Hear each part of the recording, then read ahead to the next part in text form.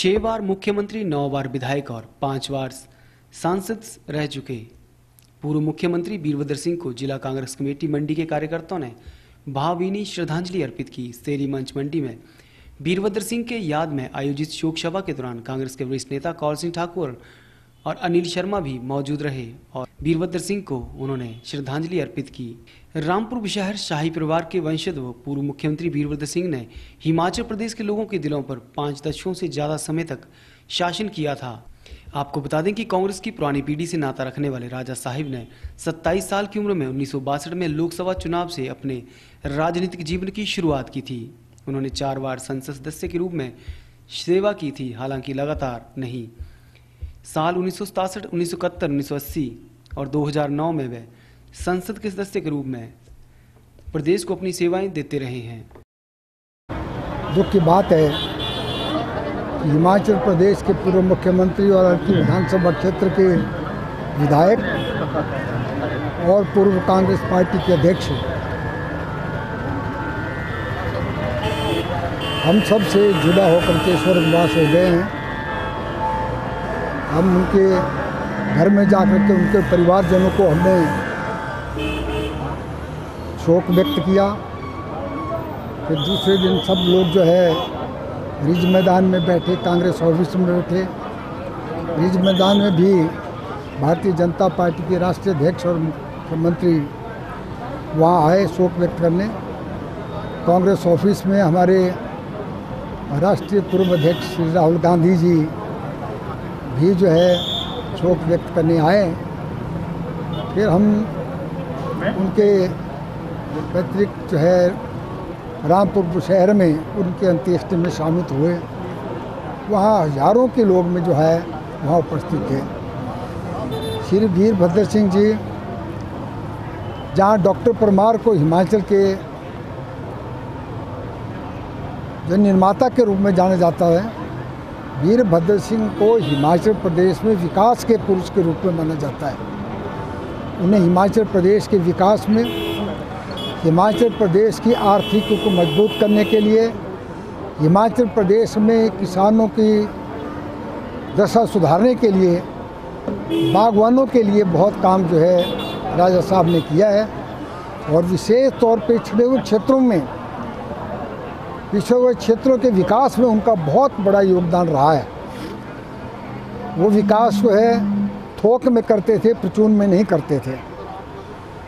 Congress party को उनके निधन से बहुत ही नुकसान हुआ है। हम इस अवसर पर आज यहाँ मंडी में, जिला में भी प्रधान श्री प्रकाश जी के नेतृत्व में एक शोक सभा का आयोजन किया है। उनके जो है श्रद्धांजलि अर्पित करने के लिए सब कांग्रेस जन इकट्ठे हुए हैं। मैं भगवान से प्रार्थना करता हूँ कि उनकी आत्मा को स्वर्ग में शांति दे। उनके परिवारजनों को और सभी कांग्रेस जनों को इस दुख को सहन करने की शक्ति प्रदान करें। हमें भी प्रार्थना करते हैं कि अगला जन्म भी उनके अच्छे घर में पैदा हो।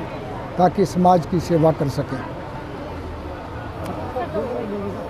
महान नेता को याद करने के लिए मंडी वासी सभी शेरी मंच पे इकट्ठे हुए हैं।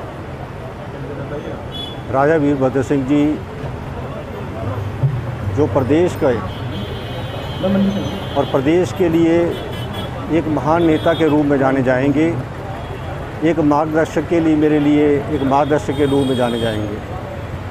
मैं जानता हूँ, जब मैं राजनीति में आया, उनके मंत्रिमंडल में मुझे स्थान मिला। बहुत कुछ सीखने का। और सबसे बड़ी बात है कि जो कह दिया, वो कर दिया। ये बात मैंने उनसे सीखी थी। और यही कारण है कि आज ये प्रदेश जो आज हमारे जिस तरफ़ बड़ा है इसमें सबसे बड़ा योगदान राजवीर भद्र सिंह की रहा। और आज ये मंडी शहर को जो स्वरूप मैं दे पाया हूँ मैं जानता हूँ बड़ी चुनौती रही। बहुत से लोग उन्हें मिसगाइड भी करते रहे, परंतु फिर भी वो मेरी बात को मानते रहे। और इतना बड़ा काम, चाहे वो पानी की स्कीम हो, मंडी के ब्रिज की बात हो, मंडी में मार्केट की बात हो, ये सभी काम राजवीर भद्र सिंह जी के माध्यम से हुए हैं। मैं उनका आभार भी प्रकट करना चाहता हूँ और सच्ची श्रद्धांजलि ये होगी कि उनके बताए हुए काम की तरफ़ हम आगे बढ़ें और जो सीखा है उसको मैं आगे ले जाऊँ। और यही कामना करता हूँ कि परिवार को दुख झेलने की शक्ति मिले। परंतु परिवार में समझता हूँ, राजा वीर भद्र सिंह का परिवार उनके बेटा और पत्नी नहीं, ये पूरा प्रदेश है। ये पूरे प्रदेश के अंदर जो एक परिवार मानते थे उस परिवार को दुख झेलने की शक्ति दे और उनके बताए हुए मार्ग पे हम आगे चलें। यही सदी श्रद्धांजलि जो है, वो माननीय मुख्यमंत्री, पूर्व मुख्यमंत्री जी के लिए रहेगी, राजा वीरभद्र सिंह के लिए